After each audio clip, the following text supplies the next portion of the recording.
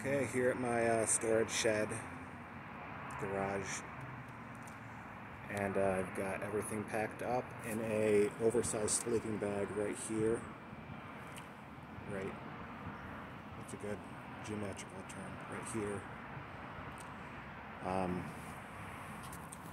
so yeah, everything's in a oversized sleeping bag to keep it waterproof because essentially, I mean, you just look at the weather and the forecast never actually says it's going to rain on a day. It's just kind of like, you know, it happens. So, like, you look at the weather forecast for a week ahead of time and you think, oh, it only rains two days a week, when in all reality, it's raining like half the days of a week. So, like, you know, it, it rains quite a bit here. So, and uh, there's some ducks flying south up there. I got that right there. And then right here I have the uh, charger just because this really isn't going to take any more weight.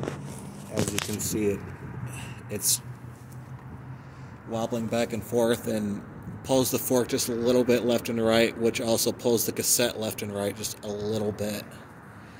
So, I mean, it, it it'll still go. This thing's a workhorse. Um, it's just this is not built for this much weight. This thing is only built for 30 pounds, and it would be better for it to be welded onto the rack, like actually part of the frame, like have you know just a nice thick chunk of aluminum, just like this, or like a nice thick chunk of steel that you know, it might bend a little bit, but it'll snap right back into place like an Olympic bar with like 500 pounds on it with a deadlifter. It just snaps right back and it's strong. But cargo bikes, good bikes are just, um, unless you order it in bulk, like 10 at a time from China from Alibaba Express, they are, you know, a $1,000 and for a reason because, um, yeah, bikes are expensive. There's lots of stuff on them. So, yep, that's that. And uh, I've got to go back and get my backpack so I can get some stuff just on my back. And I'm just gonna I'm just gonna carry stuff in my frame and use myself as the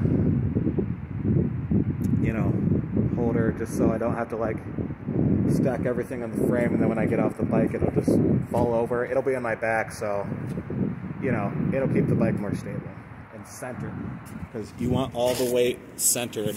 I've already got a 14 pound battery and um, 12 pounds uh, motor system with the motor and all the wiring and display and everything it adds up to 12 pounds.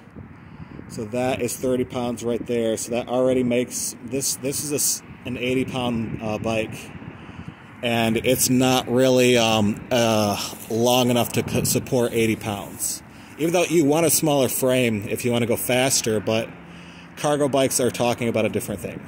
And this is not a cargo bike.